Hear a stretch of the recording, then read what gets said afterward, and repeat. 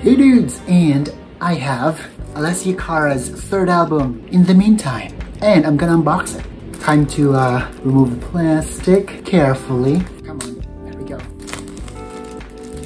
Ooh, pretty. Oh, the plastic smells weird. It's time to open it.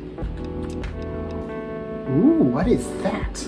Oh, whoa, that's a blast of weird smells. And apparently this CD, because I bought it in Target, it has a poster. Ooh, let's fold it out. That is a pretty, very uh, faded. And then the back uh, is basically a collage or something. And it is lyrics. That is good.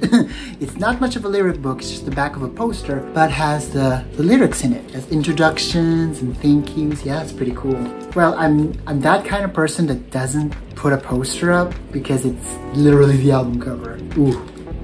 Photo here, and here is the CD. The CD is pretty. Here's the back of the album, and here's the front. So yeah, that was Alessia Cara's In the Meantime. Time for me to stick this sticker somewhere. Put it in here vertically or horizontally? No, horizontally is better. So right um, here, there we go.